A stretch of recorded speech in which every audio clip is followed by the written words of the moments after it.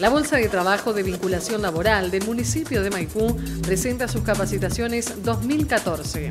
La primera es el taller de orientación vocacional dirigido a jóvenes de 16 a 18 años, diseñado y facilitado por profesionales. La inscripción está abierta y es gratuito. Estuvimos con una de las profesionales a cargo y nos cuenta los detalles. Hoy por hoy hay muchas formas de acercarte a un trabajo que te interesa. Eh, por internet hay muchas páginas, las consultoras, las empresas mismas, acercarte a la empresa, llevarla al sector de recursos humanos.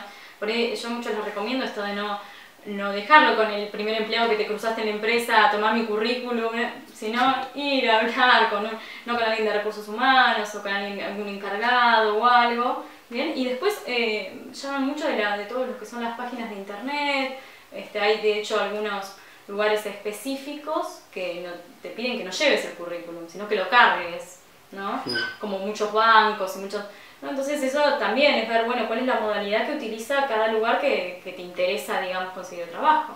El no en las primeras búsquedas es, es como un proceso casi natural. En realidad yo muchas veces le digo, eh, tómenlo más como una experiencia de que tuvieron una entrevista laboral, de cómo son las entrevistas laborales, de ¿no? Porque al principio obviamente no tenés experiencia, la probabilidad por ahí de quedar en un lugar disminuye bastante, ¿sí? Pero bueno, en algún momento, yo siempre les digo, va, a surgir el sí, siempre surge, ¿no? Y esto de, de, buscar, hablar, de no parar de moverse, de ¿no? ser muy proactivo, digamos, en la búsqueda de empleo y saber que es un proceso de que hay que tener paciencia, que lleva tiempo, que bueno, a todo el mundo le pasa lo mismo. Sí, porque en realidad la búsqueda del trabajo también tiene que ver en algunos aspectos con una cuestión de suerte, ¿bien?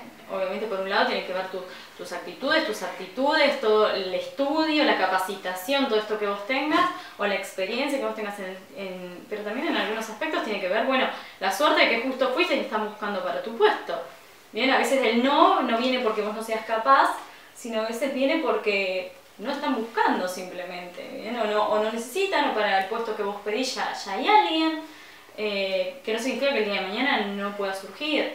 Y primero tener metas y objetivos claros, o sea, saber, bueno, qué vas a emprender